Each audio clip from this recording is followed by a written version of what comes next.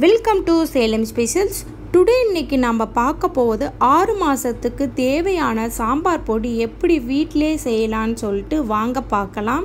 அதுக்கு நான் எல்லா பொருளையும் வறுத்து எடுத்துக்கிறேங்க. அதுக்கான பொருட்கள் நானூற்றி ஐம்பது கிராம் வந்து மிளகாயை மிதமான சூட்டில் இதை வறுத்துக்கிறேங்க.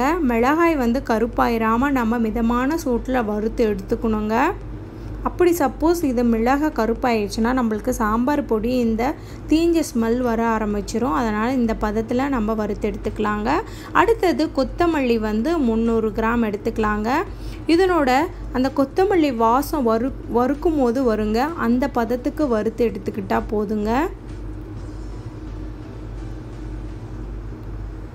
பாருங்கள் இந்த பதத்துக்கு நம்ம வறுத்துக்கலாங்க. அடுத்தது புழுங்கல் அரிசி நான் அறுபது கிராம் எடுத்துக்கிட்டேங்க. உங்கள் வீட்டில் எந்த அரிசி இருக்கோ அதை வந்து அறுபது கிராம் எடுத்துக்கலாங்க. இது அந்த பொறி மாதிரி வர வரலும் நம்ம வறுத்து எடுத்துக்கணுங்க. பாருங்கள் இந்த பதத்துக்கு. அடுத்தது துவரம்பருப்பு நாற்பது கிராமுங்க. இதை கரிகிராமல் பொறுமையாக வறுத்து எடுத்துக்கலாங்க.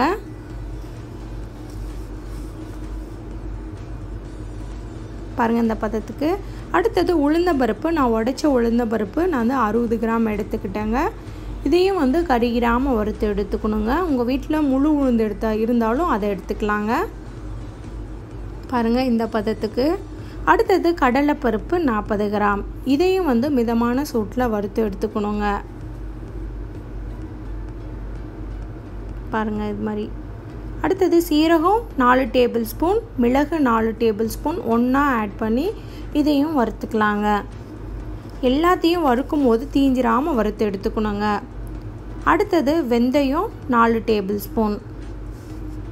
இதையும் இதுதான் சீக்கிரமாக வந்து கருகிருங்க. அதனால் சிம்மில் வச்சு பொறுமையாக வறுத்து எடுத்துக்கணும். நாலு டேபிள் ஸ்பூன் கடுகையும் வறுத்துக்கலாங்க. இதை வறுக்கும் போது படபடன்னு வெடிக்கும். அந்த பதத்துக்கு கடுகை வறுத்துக்கலாங்க.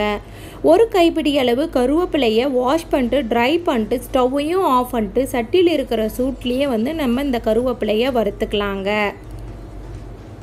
இப்போது நான் தேவையான அளவை மறுபடியும் சொல்கிறேங்க நானூற்றி ஐம்பது கிராம் மிளகாய் முந்நூறு கிராம் மல்லி அறுபது கிராம் அரிசி ரெண்டு டேபிள் ஸ்பூன் மஞ்சத்தூள் ரெண்டு டேபிள் ஸ்பூன் பெருங்காயத்தூள். இதை அரைக்கும் போது ரெண்டையும் ஆட் பண்ணிக்கலாங்க.